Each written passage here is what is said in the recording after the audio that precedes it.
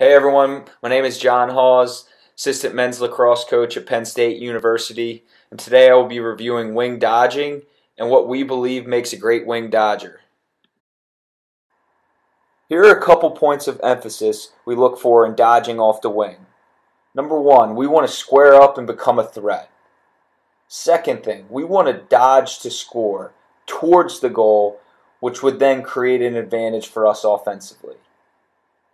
Next, we want to be able to read the defenders. Are they hedging? Are they sliding? Are they looking away? We can also use deception off the wings with the uses of pump fakes, hesitations, step backs. And then the last thing we want to look at is man, can we finish our shot with great angle? Each of these points will be explored in more detail during the upcoming film clips.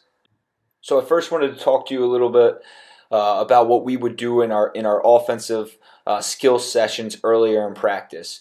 We would do this with no defenders. So where 50 and 22 are, there would be a line of guys, and then where three is inside, there would also be a line of guys.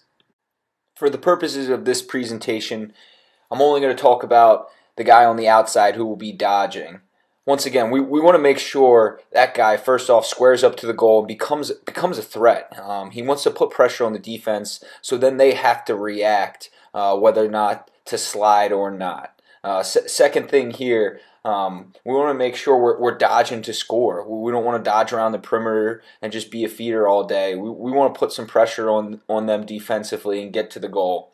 And then the last thing here, you know, that we like for our guys to do is just be creative.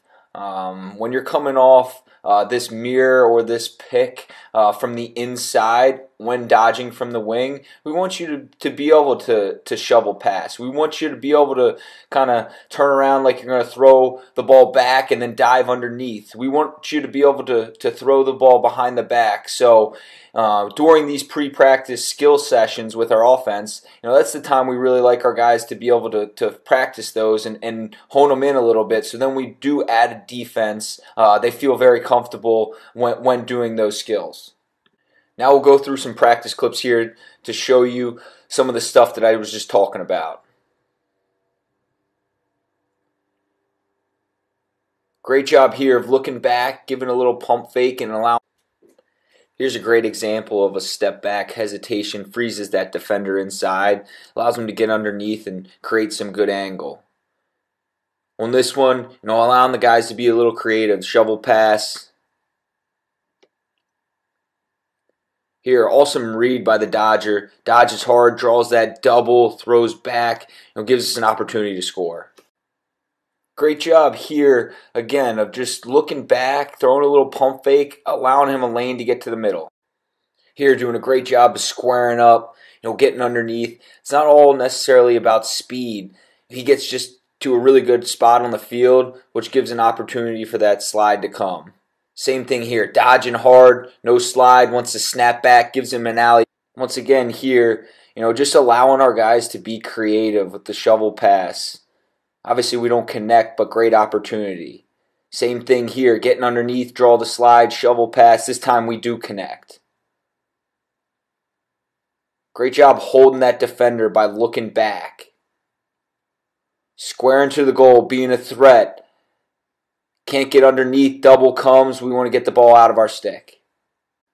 Next drill we like to use when dodging off the wing is what we call the decision drill what's needed. You know, the ball's on the wings about 10 yard, 10 to 15 yards up from goal line, and then outside the restraining line is shown with those X's in that diagram to the right.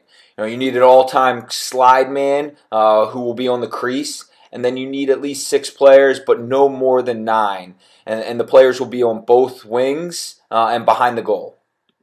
The objective of this drill is to be able to read a sliding defender uh, without any hesitation and, and, when we're at full speed. You know, two, just our stick work when the slide is coming, the ball, the ability to get the ball in and out of our stick. And then the last thing we like to work on here is just just work on those deceptions, work on those pump fakes, those hesitations to hold that slider inside and allow you to then get to the goal. Here's the drill in action want to square up. We want to dodge as hard as we possibly can at that goal and then be able to read myself on the inside. So here I get back to my man. Dylan throws a little pump fake allows him to get to the middle of the field. That one, I, w- I wish Jackson would dodge a little bit harder off the initial dodge, uh, but everything else I like. There we go. Get the ball out of our stick as soon as we see that slider.